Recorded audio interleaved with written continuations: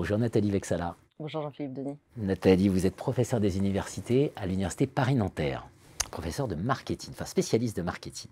Article dans la revue Décision Marketing, publié en 2021 avec Valérie Zetoun. Les réseaux sociaux, un nouveau support d'expression du temps infini des marques de luxe. Ça a beaucoup attiré mon attention, ce papier. Je me suis dit, ça c'est une belle question. Comment des marques de luxe qui se fondent sur leur héritage, se fondent sur le passé, la tradition, etc., et visent potentiellement l'éternité, c'est-à-dire l'intergénérationnel, comment se saisissent-elles de cette instantanéité des réseaux sociaux? Est-ce que vous pouvez nous expliquer ce que vous avez trouvé? Alors c'était exactement notre point de départ, ce paradoxe entre euh, le temps long des marques de luxe et l'instantanéité euh, d'un réseau social comme Instagram.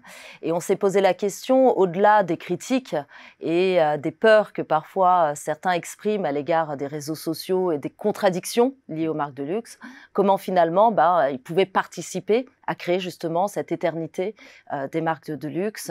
Et donc on a fait tout un travail de recherche, de terrain également, pour essayer de comprendre les mécanismes par lesquels finalement bah, Instagram pouvait être créateur de valeur, notamment pour euh, les marques de luxe. Alors, levez-nous cette énigme. Concrètement, ce que vous suggérez, ce que vous prescrivez, ce que vous recommandez sur la base de votre recherche. Alors, la première chose qui, euh, auquel il faut penser, c'est bien évidemment de...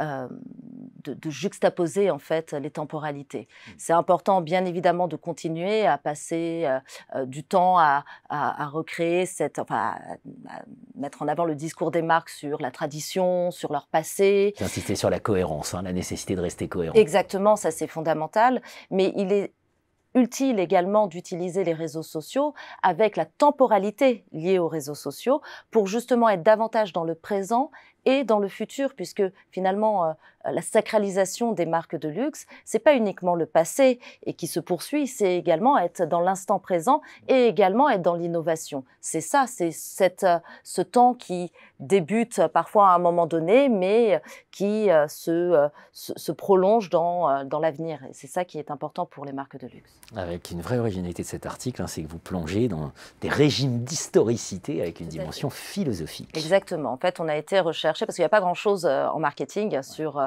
euh, cette notion de temporalité. Donc on a été sur de la philosophie et notamment avec les régimes d'historicité d'Artog pour aller comprendre justement ce qu'était le passéisme, le présentisme et le futurisme et voir comment le discours sur des publicités était souvent basé davantage sur du présentisme ou sur du passéisme et comment finalement grâce aux réseaux sociaux on pouvait essayer d'apporter justement cette notion de futurisme et cette notion de sans fin des marques de luxe qui font finalement leur statut d'icône et qui les sacralisent. Bien sûr, donc on peut, on peut être dans le luxe et plonger dans l'arène des réseaux sociaux.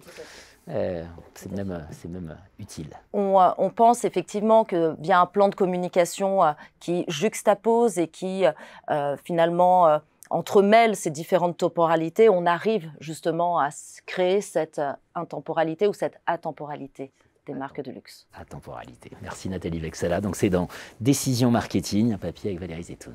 Merci Jean-Philippe Denis.